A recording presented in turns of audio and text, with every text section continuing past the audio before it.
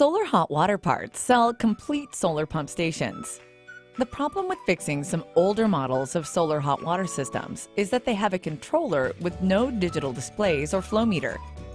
This can make repairs on this type of system very difficult. The advantage with replacing broken components in older systems with a complete pump station is that you replace everything with the latest products on the market. You can see that your system is working properly by being able to read roof temperature differentials and observe the flow meter on a regular basis.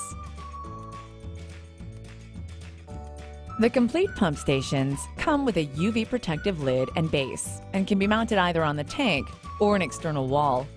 A Grundfos 1520 SIL variable speed circulating pump, Senztek solar hot water controller with digital display and sensors, and solar rated non-return valve.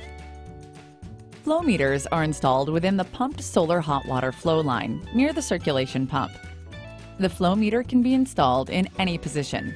Care should be taken to ensure that the directional arrow marked on the valve is pointing in the direction of the flow.